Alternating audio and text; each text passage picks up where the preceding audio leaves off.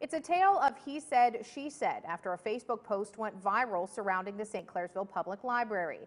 7 News anchor Stephanie Grindley has the exclusive report on how the debacle of ink etched into one's skin is leaving permanent scars on the director and his former employees.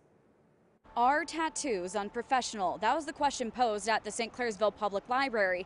And well, it's resulted in one employee quitting and another being fired.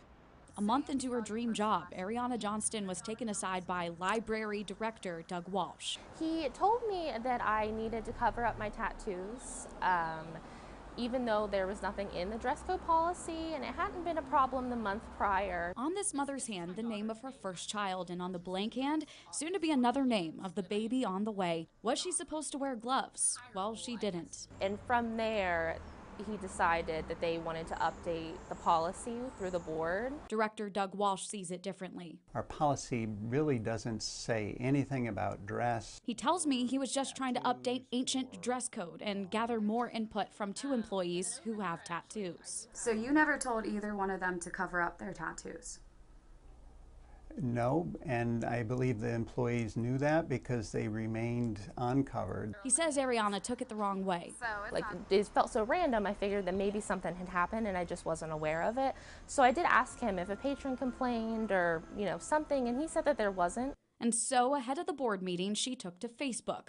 Police officers, hospital workers started messaging her saying they have tattoos and aren't asked to cover up on the job. It caught the library board's eye. Two meetings were held.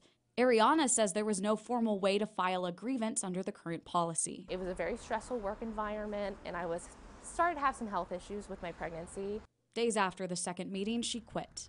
Ariana says her coworker with tattoos who had been working at the library for seven months with no problems was also asked to cover up. She too filed a written grievance. Three days later, she was fired. Ohio is an at will state, meaning the library does not need to give a reason for why they let someone go. But we asked Mr. Walsh for exactly that. Why?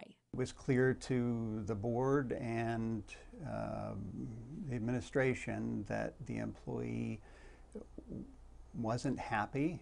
Your stance on tattoos, where does that stand right now? Do you believe it's still unprofessional? Uh, so I, I, never believed that tattoos were unprofessional. While the dress code is undecided, well, if you're a patron entering the St. Clairsville Public Library, well, Doug Walsh says you're welcome, tattoos or not. In Belmont County for 7 News, I'm Stephanie Grindley, working for you.